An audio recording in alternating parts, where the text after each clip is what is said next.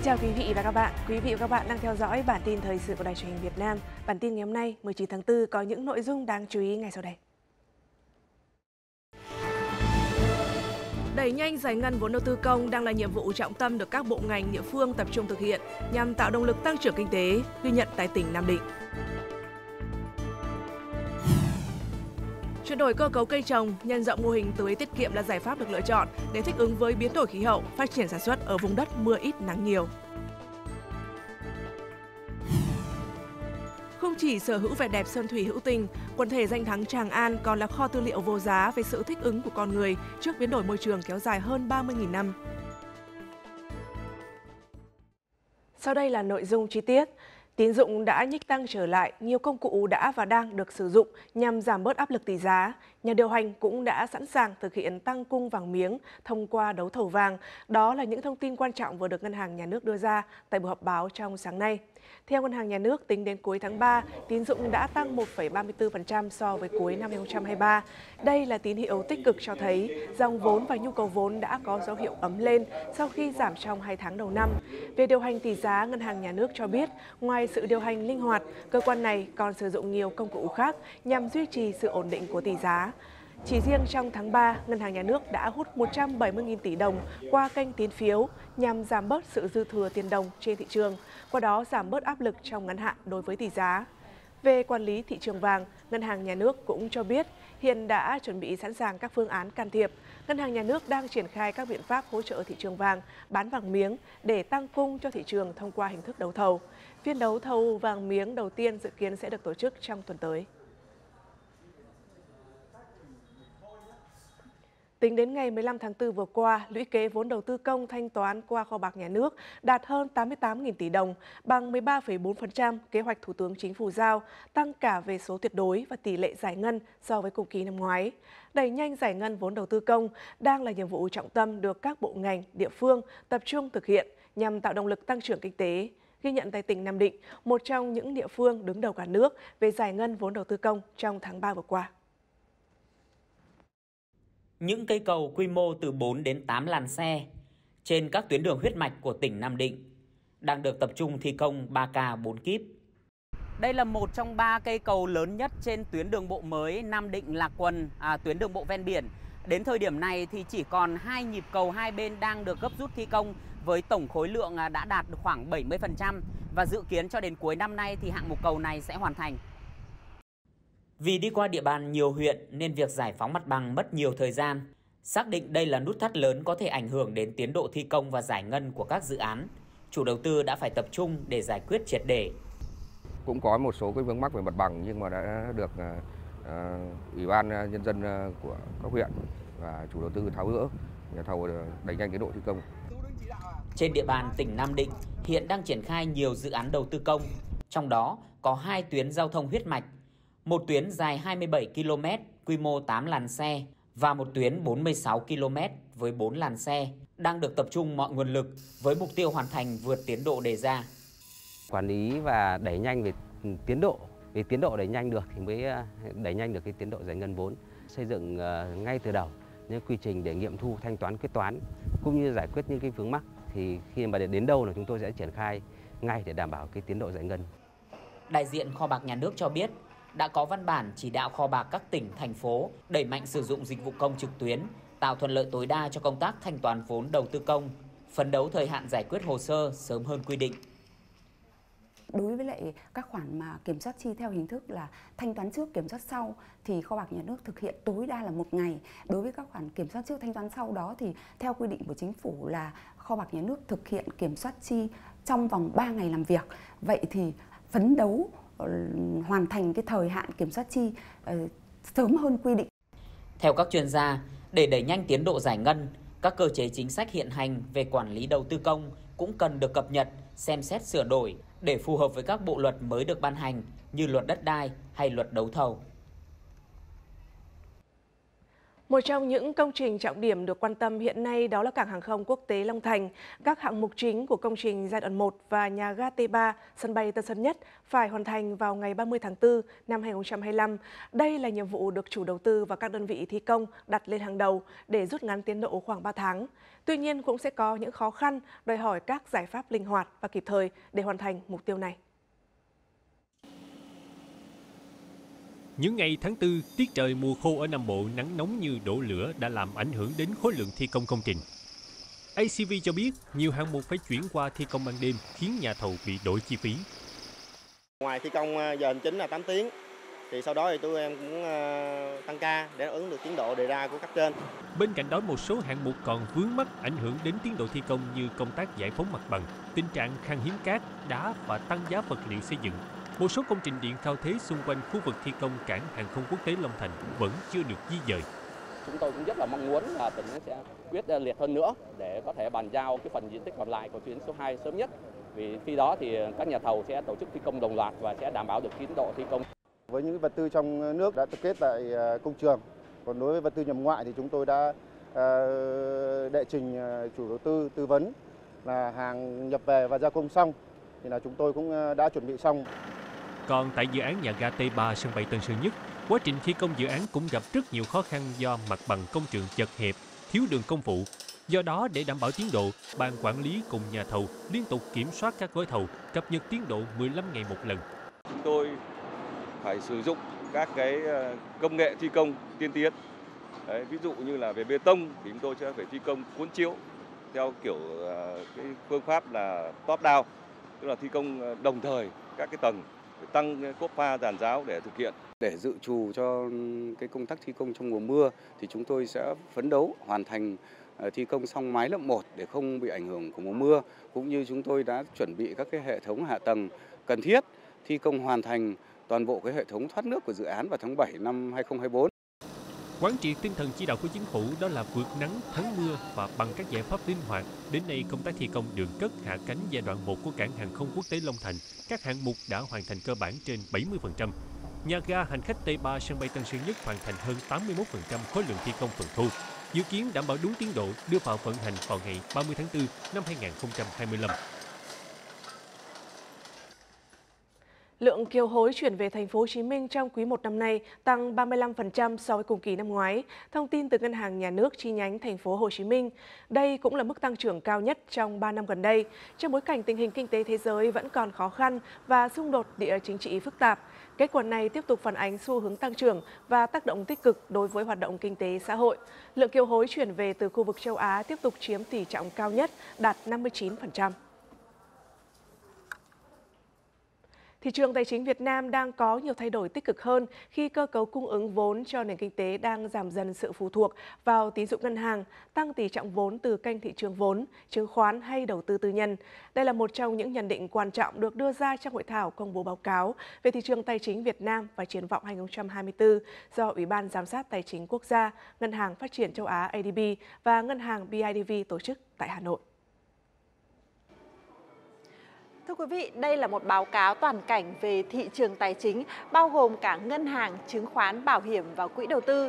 Do đó mà nhận định trên được nhóm nghiên cứu đưa ra dựa trên những đánh giá tổng quan và các số liệu cụ thể về cơ cấu cung ứng vốn cho nền kinh tế. Ví dụ như ở biểu đồ này thì tín dụng ngân hàng vẫn đang được xem là một kênh cung ứng vốn quan trọng, ờ, chiếm 48,4% tỷ trọng trong năm ngoái, nhưng mà đã giảm dần hơn so với mức trên 51,7% của năm 2022. Ngược lại thì huy động vốn từ thị trường chứng khoán cũng đã tăng lên mức là 12,4% ờ, so với mức là 10,8% của năm 2022.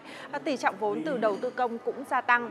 Điều này thì phù hợp hơn với thông lệ quốc tế, giúp ổn định các nguồn vốn chung dài hạn cho doanh nghiệp. Về lâu dài có lẽ nó sẽ chuyển hướng theo hướng này và theo đó thì cái vốn từ hệ thống ngân hàng chúng tôi ờ, dự kiến nó sẽ tính chiếm khoảng tầm 40% là phù hợp và kênh dẫn vốn từ thị trường vốn trái phiếu, cổ phiếu có lẽ cần phải tăng hơn để tăng cái vốn chung dài hạn cho nền kinh tế và có đó giảm bớt đi cái áp lực về vốn chung dài hạn cho hệ thống ngân hàng. Một trong những cái hạn chế của tài chính ngân hàng ấy là nó tương đối từ ngắn đến trung hạn, chứ nó khó có dài hạn thế thì chúng ta cần cái phát triển thị trường tài chính nó đầy đủ bền vững để chúng ta có thể huy động thêm được các nguồn vốn dài hạn và để ổn định phát triển ờ, thị trường tài chính, nhóm chuyên gia kiến nghị cần có các giải pháp đồng bộ, tập trung tháo gỡ những vướng mắc, đồng thời thì tận dụng các cơ hội mới trong tăng trưởng xanh, tài chính xanh, chuyển đổi số hay là fintech nhằm đa dạng hơn các dịch vụ cung ứng cho thị trường tài chính.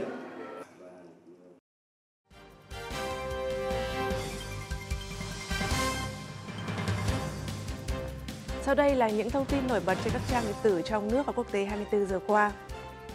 Theo trang tin VN Express, Mỹ, thị trường tiêu thụ chủ lực của gỗ nội thất Việt Nam đã tăng mô đáng kể trong quý 1, kéo theo triển vọng phục hồi của ngành này trong năm nay. Thống kê từ Hawa Expo, hội trợ nội thất lớn nhất Việt Nam, tổ chức đầu tháng 3 vừa qua cho thấy 36% khách tham gia hội trợ lần này đến từ thị trường Mỹ và 75% doanh nghiệp tham gia triển lãm đã ký được hợp đồng hoặc ghi nhớ hợp tác với tổng giá trị trên 115 triệu đô la Mỹ. Còn theo số liệu của Tổng cục Hải quan, xuất khẩu gỗ và sản phẩm gỗ quý 1 đạt hơn 3,5 tỷ đô la Mỹ, tăng hơn 25% so với cùng kỳ, trong đó thị trường Mỹ đạt gần 1,9 tỷ đô la Mỹ. Cũng liên quan đến tình hình xuất khẩu, Báo Thanh niên điện tử cho biết xuất khẩu sắn và các sản phẩm từ sắn tăng mạnh trở lại trong tháng 3, trong đó Trung Quốc là thị trường tiêu thụ lớn nhất. Cụ thể trong tháng 3, các doanh nghiệp trong nước xuất khẩu gần 315.000 tấn sắn và các sản phẩm từ sắn trị giá hơn 142 triệu đô la Mỹ, tăng hơn 45% về lượng và gần 48% về trị giá so với tháng 2. Thống kê lũy kế 3 tháng đầu năm nay, xuất khẩu sắn và các sản phẩm từ sắn giảm 3,3% về lượng nhưng tăng 15,6% về trị giá so với cùng kỳ năm ngoái. Trong đó Trung Quốc đã chi hơn 400 triệu đô la Mỹ nhập khẩu sắn và các sản phẩm từ sắn của Việt Nam. Nam. Trang Tour Hebdo tiếng Pháp đưa tin, hãng hàng không quốc gia Việt Nam có kế hoạch triển khai dịch vụ Internet trên các chuyến bay đến châu Âu, Mỹ và một số đường bay nội địa từ năm 2025. Với ưu đãi mới này, hành khách của Vietnam Airlines sẽ có thể tận hưởng trải nghiệm kết nối xuyên suốt hành trình với tốc độ lên tới 60 megabit trên giây nhờ công nghệ tiên tiến. Kế hoạch này sẽ dần được mở rộng sang các đường bay khác từ năm 2026. Đại diện Vietnam Airlines cho biết, sự hợp tác này với Bưu chính Viễn thông Việt Nam sẽ đưa Vietnam Airlines trở thành hãng dẫn đầu về công nghệ kỹ thuật số trong khu vực. Từ năm 2019, Vietnam Airlines đã cung cấp dịch vụ Wi-Fi trên một số máy bay Airbus A350 của hãng. Việt Nam thuộc nhóm các thị trường dẫn đầu về lượng khách du lịch đến Nga trong năm 2024. Đây là thông tin từ Hiệp hội các nhà điều hành tour du lịch Nga được đăng tải trên báo điện tử của hãng thông tấn Sputnik. Còn trang Vietjo, trích dẫn thống kê của Tổ chức Du lịch Quốc gia Nhật Bản cho thấy số lượng du khách Việt Nam đến nước này trong tháng 3 năm 2024 đạt hơn 67.000 lượt, tăng 25,6% so với cùng kỳ năm ngoái, đánh dấu tháng thứ hai liên tiếp đạt mức cao kỷ lục. Trong 3 tháng đầu năm, có hơn 170.000 du khách Việt Nam sang Nhật Bản, tăng sấp xỉ 7% so với cùng kỳ năm ngoái. Trong phần tiếp theo của bản tin, Chuyển đổi cơ cấu cây trồng, nhân rộng mô hình tưới tiết kiệm là giải pháp được lựa chọn để thích ứng với biến đổi khí hậu, phát triển sản xuất ở vùng đất mưa ít nắng nhiều. Những nét đẹp về Hà Nội trong MV của nghệ sĩ kèn saxophone Kennedy sắp được công bố rộng rãi tới công chúng. Bản tin thời sự xin được tiếp tục. Hôm nay 19 tháng 4, cả ba miền trên cả nước đều nắng nóng, đặc biệt ở Bắc Bộ và Trung Bộ nắng nóng mở rộng. Dự báo nhiệt độ cao nhất ở Tây Bắc Bộ, Thanh Hóa đến Quảng Bình phổ biến 35 đến 38 độ C, có nơi trên 39 độ C. Đồng bằng Bắc Bộ trong đó có thủ đô Hà Nội, nhiệt độ dao động 35 đến 36 độ C. Quảng Trị tới Phú Yên, Tây Nguyên và Nam Bộ, dự báo từ giờ đến cuối tuần vẫn tiếp tục nắng nóng trên diện rộng, có nơi trên 37 độ C. Cảm nhận thực tế ngoài trời có thể nóng hơn từ 2 đến 4 độ C. Tình hình nắng nóng kéo dài khiến lượng nước ở các hồ thủy lợi Bình Thuận hạ thấp rất nhanh. Các hồ chứa thủy lợi trên địa bàn tỉnh còn khoảng 100 triệu mét khối nước, đạt 28% dung tích thiết kế, thấp hơn cùng kỳ năm ngoái khoảng 40 triệu mét khối. Ngoài ra, tổng lượng mưa trên địa bàn trong tháng 4 và tháng 5 dự kiến cũng ít hơn so với trung bình nhiều năm. Hiện nay, cơ quan thủy lợi đang ưu tiên cung cấp nước phục vụ sinh hoạt cho các nhà máy nước đô thị và các công trình cấp nước, tập trung khu vực nông thôn. Mục tiêu là cung cấp đầy đủ nước sinh hoạt cho nhân dân. Nắng nóng hạn hán không chỉ ảnh hưởng đến đời sống của bà con Bình Thuận mà còn ảnh hưởng nghiêm trọng tới sản xuất nông nghiệp, sinh kế chính của bà con nơi đây bởi sản xuất nông nghiệp phần lớn phụ thuộc vào nước trời. Do vậy, chuyển đổi cơ cấu cây trồng, nhân rộng mô hình tưới tiết kiệm là giải pháp được lựa chọn để thích ứng với biến đổi khí hậu, phát triển sản xuất ở vùng đất mưa ít nắng nhiều. Dù đang là mùa khô hạn, nhưng 1,5 hecta dưa lưới của anh Nguyễn Huy Hạnh, xã Đông Giang, huyện Hàm Thuận Bắc vẫn luôn xanh tốt. Đầu tư hệ thống tưới nhỏ giọt như thế này không những giảm lượng nước thất thoát mà còn giúp cho diện tích dưa được tưới đều hơn đất ẩm và tơi xốp hơn so với cách tưới truyền thống. Mình tích trữ nước bằng cách là mình à, đào ao, rồi à, mình bơm vào trong cái bể chứa rồi mình tưới nhỏ giọt thì nó sẽ nước nó đi theo từng gốc cây nó sẽ định lượng nó sẽ giảm nguồn nước hơn. Trong những tháng khô hạn này, với lượng nước tưới ít ỏi, tính toán như thế nào để đảm bảo sản xuất được quanh năm? Đó là bài toán của nông dân vùng cao nơi đây. Chỉ có khoảng 10 khối nước cho một lần tưới để phủ hết 1,2 hecta bắp. Anh Phạm Quang Đông phải tưới luân phiên và chỉ phủ đủ nước vào gốc cây. Cái mô hình này thì nó cũng khả thi hơn là mình tưới ờ, phủ diện tích luôn. Đó, tại vì tưới này tưới mình chỉ cần ờ, đúng cái mục mục tiêu tại chỗ thôi, tại gốc thôi. Vùng núi Đông Giang có trên 1.000 hecta cây ngắn ngày, chỉ khoảng 30% diện tích canh tác quanh năm, còn lại phụ thuộc vào nước trời. Chuyển đổi cơ cấu cây trồng và nhân rộng mô hình tưới tiết kiệm là giải pháp được hội nông dân lựa chọn, hướng dẫn bà con để duy trì hiệu quả sản xuất. Hiện toàn xã đã chuyển đổi được 5 hecta dưa lưới, 13 hecta sầu riêng và cây ăn trái. Hội cũng đã tích cực vận động cho bà con là dùng cái biện pháp là tưới nước nhỏ giọt là phun sương để đảm bảo theo cái nguồn nước mà duy trì được cái cái cái sự phát triển của cây trồng. Ở vùng mưa ít, nắng nhiều, thời tiết khắc nghiệt thì mô hình tưới nước tiết kiệm được xem là giải pháp ứng phó với hạn hiệu quả. Không chỉ là lợi ích về kinh tế mà đã tác động đến việc thay đổi nhận thức của đồng bào vùng cao về chuyển đổi phương thức canh tác phù hợp trong hoàn cảnh mới. Tại thành phố Hồ Chí Minh, nhiều năm nay có một quán buffet chay mỗi ngày phục vụ hàng nghìn suất ăn cho những lao động nghèo với mô hình ăn tùy bụng, trả tiền tùy tâm. Một câu chuyện đẹp về lòng bao dung ấm áp đầy tình người sẽ gửi tới quý vị ngay trong phóng sự sau đây.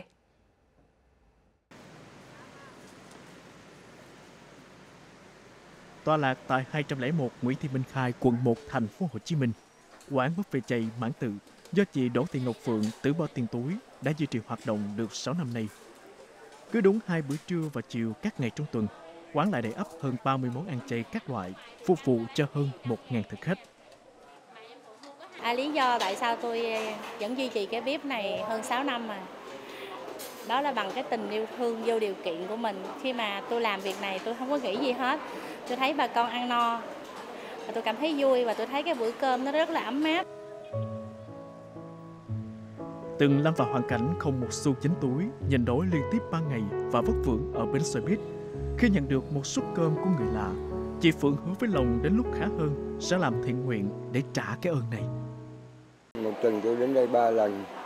Dạ tôi ờ, thấy ờ, tiệm này cũng rất ờ, ủng hộ cho bà con đây nhiều, hoàn cảnh khó khăn. Tôi cũng mong cái quán này còn lần lâu dài cho bà con đây, đỡ khổ vấn đề khó khăn. Sài Gòn là một cái nơi lập nghiệp rất là nhiều tỉnh đến, là cái nơi bà con ở xa không à. Nên là mình biết ít nhiều gì ngày hôm đó, ngày hôm nay, giống như ngày hôm nay thôi. Thì tôi phục vụ hôm nay hơn ngàn ngàn suất cơm đi, thì tôi biết đâu đó cũng có một vài người giống như tôi cái bữa cơm rau củ quả nó rất là bình thường nhưng khi mà bạn cần thật sự rồi thì bạn mới cảm thấy rất là quý nên là tôi không bao giờ quên cái bữa cơm đó và tôi làm làm để tôi trả ơn lại Sài Gòn trả ơn lại cái nơi đã cho tôi một cái những cái những cái bài học của cái cuộc đời những cái trả ơn lại đời á. Thực khách tới quán khá đa dạng, từ nhân viên văn phòng, sinh viên cho đến những cô chú chạy xe ôm, bán vé số, lượm và chai. Với tâm niệm ăn tùy bụng, trả tùy tâm, quán hoạt động trên mô hình lan tỏa thiện tâm, cho đi sẽ là còn mãi. Người có điều kiện trả cho những người không có điều kiện. Ai không có điều kiện thì cũng không sao. Mọi người cứ đóng góp tùy tâm vào chiếc hộp đựng tiền ngoài cửa quán như thế này.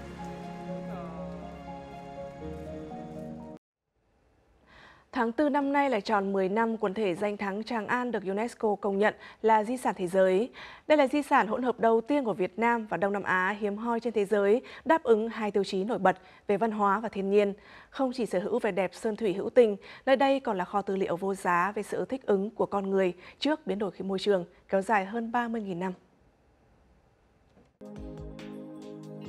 Theo các nhà nghiên cứu, để tạo nên một quần thể danh thắng như ngày nay, khối đá vôi Tràng An đã trải qua nhiều biến cố địa chất và khí hậu hàng chục triệu năm về trước.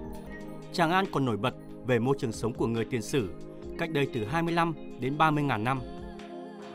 Di sản văn hóa cần phải được nghiên cứu và bóc tách trong toàn bộ tiến trình phát triển của khu vực Tràng An và phụ cận.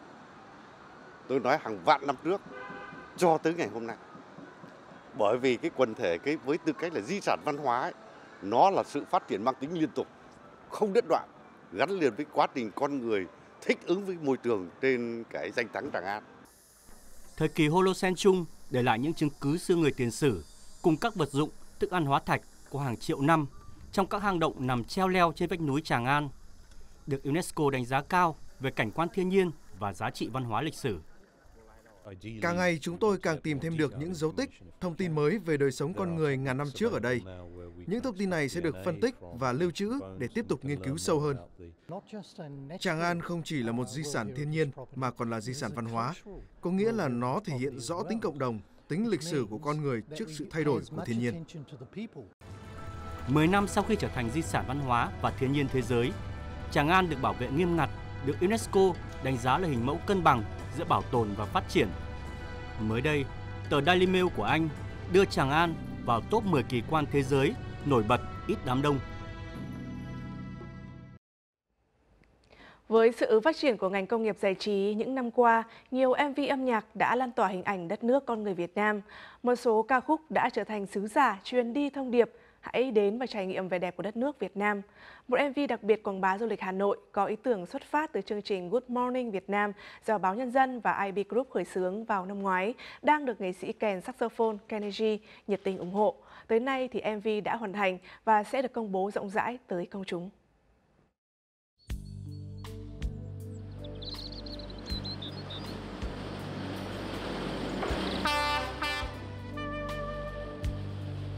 Tiếng kèn saxophone của Kenny G đã trở nên quen thuộc với người yêu nhạc Việt Nam. Còn với Kenny G, mỗi lần đến Việt Nam, đến Hà Nội đều như được trở về nhà. Bởi thế, Going Home là ca khúc được lựa chọn đưa vào MV quảng bá du lịch Hà Nội của báo Nhân dân lần này. Ca khúc này thì nó quá nổi tiếng. Cái giai điệu của nó thì chúng ta không lẫn vào đâu được. Để mọi người cảm giác như là đến Hà Nội như là được trở về ngôi nhà của mình cảm thấy nó thân thương, cảm thấy nó gần gũi.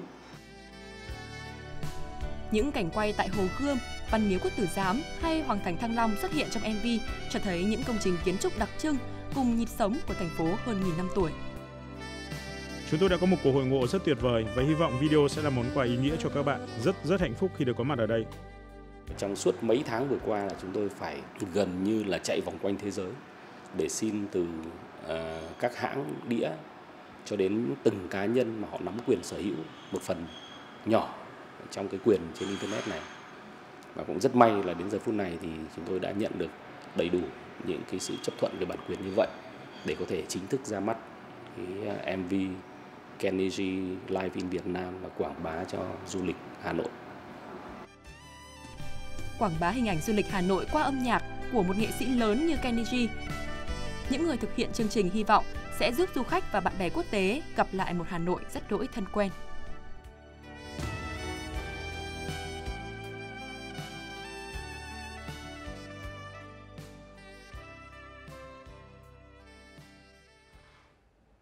Và trong phần cuối của bản tin là những thông tin dự báo thời tiết tại một số nơi trong nước và quốc tế.